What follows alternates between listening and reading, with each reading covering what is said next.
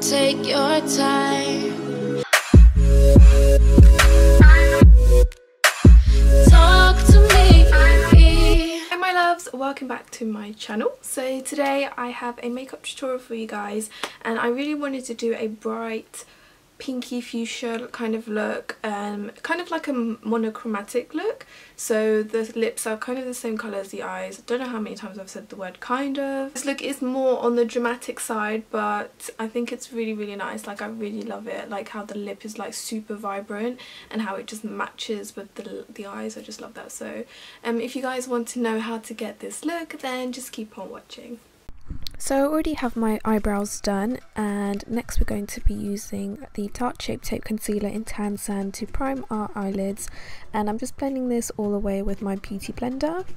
I'm then going to be using a bone coloured yellowish powder to set that concealer in place. I use the second lightest colour in the Morphe 350 palette. Now we're going to be using the Anastasia Modern Renaissance palette and I'm using the shade Burnt Orange as my crease transition colour. This brush is from a Amazon brush set that I got online and all the Amazon brushes are linked in the info box. And then I'm using this deeper orange colour from the palette to use as my crease and outer third corner colour and I'm really buffing this into the crease and bringing it up towards the eyebrow and the more I go up the less pressure I use. I'm now using this sh shade called Antique Bronze to put on my mobile lid area I am using my finger to apply this and I just feel like you get a better colour payoff when you use your finger with shadows that you're going to use on your mobile lid but we are going to end up covering this anyway so it doesn't really matter in this tutorial. Um, next I'm doing my eyeliner and I'm just doing a basic wing liner. I kind of did mess up the wing so um, I'll show you how, how I kind of mess up but I wiped it away with a makeup wipe. And I also actually forgot to use one of the colours for the outer corner of this eyeshadow look so I that's another reason why I kind of took the liner away.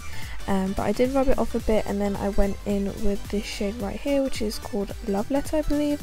And I'm just going to use a Sigma brush to kind of buff this into the crease and also outer third of the eye and it just made the eye look a bit more pink. I went on and did my eyeliner off camera because I feel like I couldn't do it that day. And now I'm using the Collection Glam Crystals in Funk with some glitter that I got from my Amazon glitter set which will all be linked in the info box by the way. And I first put a layer of the collection Glam Crystals and then I dipped the wand in the glitter and I applied the glitter with that and I felt like it stuck on really well. Because the Glam Crystals was a bit of a goldy colour and the glitter was more of a pink so I felt like it fit the look a bit more.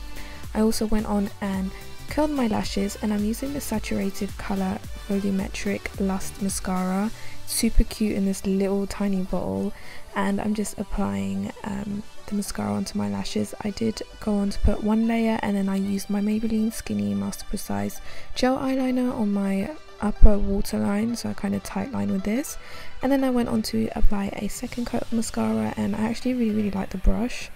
And it kind of it, it did a really good job I think. This is my first time using it so I really really like it. And I just love how much product comes out on the brush as well but there you go. And I also did use um, the two lightest colours in the Morphe 350 palette to highlight my brow bone. Yay, now onto skin, my favourite part ever. I'm using the Nip and Fab uh, Hyaluronic uh, shot and I did apply two three drops and press this into my skin where, and mostly on the driest areas of my face. And so far so good. It's actually doing a good job. It's hydrating um, but I just don't really like the smell to be honest but I don't really mind that.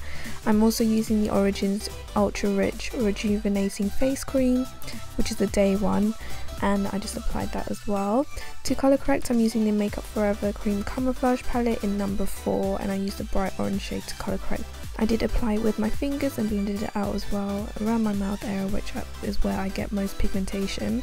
And for foundation I'm using the NARS Sheer Glow Foundation in Tahoe. Haven't used this in a while so I thought let me just use it today. Um, it's one of my favourite foundations, it's really good, it's got really good coverage. Um, I do have a full review on this if you guys want to check that out. It'll be in the info box. Well, I will link it in the info box, I mean. And I just buffed this in with a Real Techniques buffing brush. And now we're going back with the Tarte Shape Tape Concealer that we used in the beginning under the eyes. This is in the shades Tan Sand. And I like to use um, a dry sponge for this concealer because I feel like it doesn't blend as well with a damp sponge. I don't know why but I just use a dry one. To set that concealer in place I'm using the LA Girl Pro powder in banana or yellow I don't know the shade but it's basically a banana powder um it will be linked in the info box I did a bit of baking with that and also pressed it around my mouth area to set that area in place and two seconds later I just brush all the powder off. I actually do really really like this powder because it doesn't give my skin a white cast so it works really well and it actually doesn't make my skin look that great if you use it sparingly especially around my mouth area. I'm now using the Sunkissed Bronze Baked Blush that I got from Primark. It doesn't really have a shade but that's the name of the product and I'm just using this to kind of contour and bronze my skin up. It gives a nice greyish tone bronzer look so it's very good for contouring in my opinion but it does have a bit of a shimmer however. I'm using this Smashbox uh, blush trio, I'll write the shade in the info box um, and I'm just using the middle shade to add a bit of colour to my cheeks and I actually really really love blush at the moment so weird. Next we're using the Bobbi Brown Bronze Glow Highlighter and looks look how beautiful that is. Like I've never actually used this in a tutorial and I don't know why but it's so so pretty. I just love this highlighter so much. This is definitely a high-end highlighter that I would recommend to anyone with a darker complexion because it doesn't really go ashy or anything like that. It's just a nice gold highlight. And next we're using the PS lip liner pencil that's from Primark in the shade Wine it's not the softest lip liner out there, I, have to be honest, it's quite rough, but it, it gets the job done. It's quite pigmented, so it actually really lines my lips really well. And I felt like this colour suited the lipstick colour really well, so as you can see, it does a job, but it doesn't feel quite soft. But I'm actually not too fussed about that because it was only £1, so for one pound product there's bound to be a little flaw in it and I feel like the texture's that flaw Next up I'm going to be using the saturated colour moisturising lipstick in Frisky Fuchsia and it's a bright fuchsia colour, more on the fluorescent side I would say actually but I felt like the lip liner balanced it out a bit and I really really like the fact that it's a moisturising lipstick with so much pigmentation so yeah I just feel like this colour really suited the eyes and it just creates a, a nice monochromatic makeup look. Oh and I also did go in with the lip liner afterwards and kind of deepen the outer corners to make it kind of like an ombre lip. I also did apply some of the bright pink shade that we use, the Love Letter shade on my lower lash line and I just applied some of the same mascara on my lower lashes as well and yeah. So that's the full tutorial on how to do this makeup look. I hope you guys enjoyed it. Make sure to hit the thumbs up button. I love you guys so so much and I will see you in my next tutorial. Bye